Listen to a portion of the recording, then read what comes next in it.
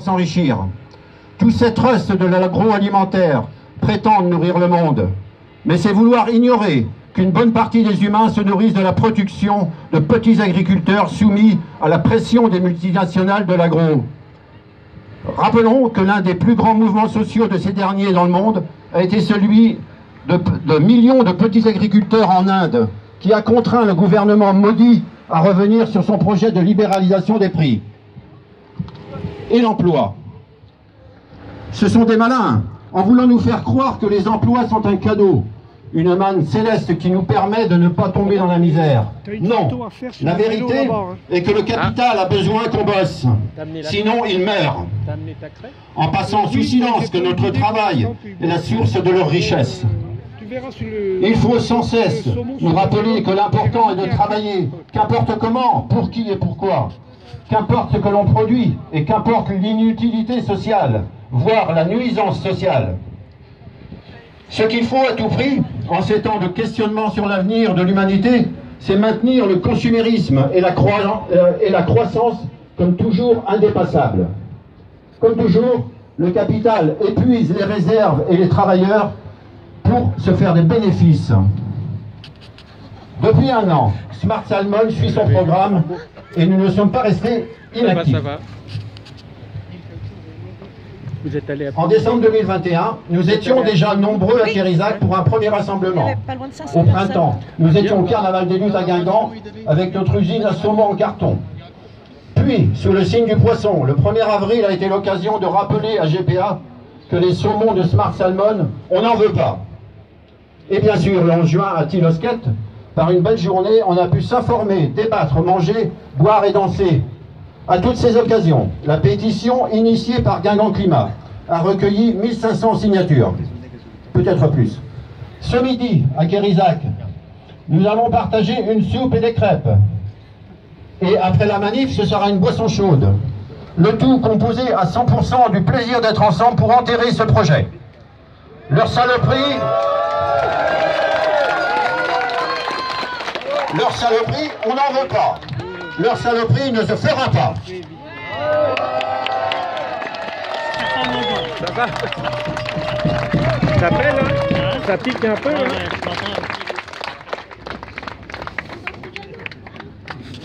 Salut. Ça va, ouais. ouais. T'es venu comment, du coup? En train. En train? Corinne est là? Ouais, ouais, ouais, elle est là. Elle est, elle est, elle est... Bonjour Et merci d'être venus aussi nombreux. Elle a le drapeau. Donc nous, on fait partie du collectif euh, Reprendre la Bretagne aux machines. Elle est par là-bas. Et on a... On a rejoint Doriogoué dans l'organisation de la journée. Euh, reprendre la Bretagne aux machines, c'est issu de la rencontre au printemps dernier d'individus et de collectifs en lutte en Bretagne. Et ce que nous voulons vraiment dans ce collectif, c'est composer ensemble depuis nos différentes pratiques politiques. On, veut amplifier des mobilisations et mettre en place des stratégies pour gagner. On veut agir maintenant et nous voulons créer des rapports de force déterminants qui imposent, qui imposent l'arrêt et l'abandon des projets nuisibles.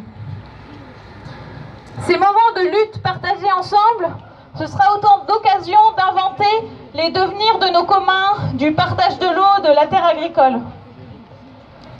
Et ce qui nous lie aussi dans ce collectif, c'est la certitude qu'on ne peut pas attendre d'hypothétiques mesures gouvernementales avant d'agir. Que des mesures qui de toute manière seront jamais à la hauteur des enjeux sociaux et environnementaux. Alors voilà, il n'y aura pas de mesures pour arrêter l'effondrement de nos conditions d'existence, on l'a bien compris. Ce qui nous reste à faire, c'est mettre toutes nos forces dans la bataille. Et mettre toute notre colère, toute la colère que nous ressentons au service des luttes.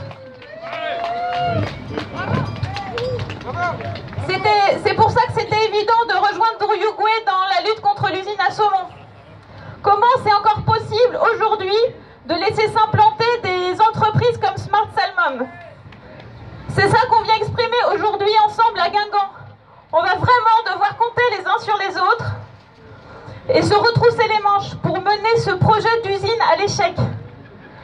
Personne le fera à notre place.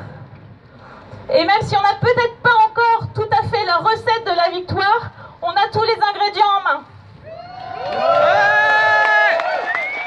On est prêt à revenir autant de fois que nécessaire jusqu'à l'abandon du projet. On fait ici la promesse d'être plus nombreux et plus déterminés si les décideurs locaux ne mettent pas un terme rapidement à ce projet.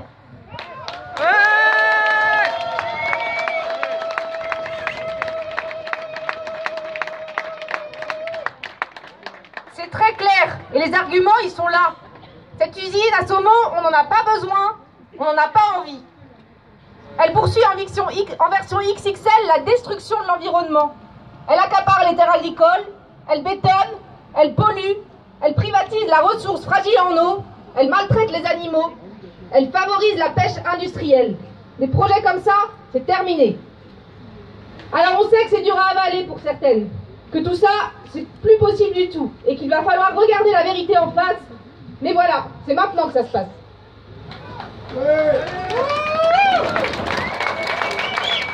Nous empêcherons les projets écocides comme celui de Smart Salmon, et ensemble, nous enterrerons le projet de l'usine à saumon.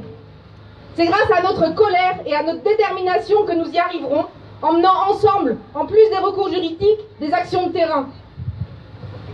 Aujourd'hui, c'est à Plouisy. Mais demain, nous irons ailleurs s'il faut. Ils parlent déjà de déménager le projet à Guerlesquin. Et aussi, on voulait dire qu'à reprendre la Bretagne aux machines, on se reconnaît dans le soulèvement et la fougue contre les méga bassines à Sainte-Soline, le 29 octobre dernier. Et pour ces luttes résonnent entre elles, on voudrait en dire un mot. Depuis plusieurs mois, des actions d'ampleur sont menées dans le bassin de la Sèvre niortaise, mais c'est l'accaparement de l'eau et le maintien du complexe agro-industriel dans son ensemble qui est combattu. Nous appelons à rejoindre la mobilisation et à s'y retrouver le 25 mars prochain, où il est prévu une grande date. Euh, et euh, l'intérêt, c'est de s'y retrouver à plusieurs dizaines de milliers de personnes. Et dans un, temps plus court, le 15 décembre, euh, il y a un rassemblement à Orléans pour, devant l'agence de l'eau, Loire-Bretagne. Il y aura une délégation qui y sera reçue et il, est appelé à un rassemblement devant euh, cet endroit. Tout à l'heure, un porte-parole de Bassine Non Merci viendra en dire un peu plus. Et aussi, on voulait vous parler que le 14 janvier prochain, dans la campagne de reprendre la Bretagne aux machines, on continue avec une journée de mobilisation contre l'arasement des talus, qui est le symbole de l'agriculture industrielle. Et ce ravage se poursuit chaque année dans le bocage et les araseurs restent en grande majorité impunis. Des, collectifs s'organisent déjà pour imposer l'abandon de cette pratique. Voilà. Euh, ce matin, on s'est retrouvés à, nombreux, on était bien 400 à Kérizac. On a planté une haie sur le talus euh, du terrain prévu pour euh, l'usine du projet. On a installé un grand mât avec des directions euh, partout qui va rester, on espère, le, plus de temps possible. Aujourd'hui, là, maintenant, à 15h, là, je sais pas, on est 1000, je pense. En tout cas, on est beaucoup. Et on va entamer là derrière le cortège. Il y en a pour une heure, une, une, grosse heure de, de, cortège ensemble dans la ville. Et on revient ici après, où il y aura euh, tout un temps euh, de prise de parole des différentes associations et syndicats qu'on va faire rejoindre euh, le cortège. Il y, a, il y aura de quoi boire un coup et de la musique. Voilà, pas d'usine à saumon, ni à Plouisy, ni ailleurs.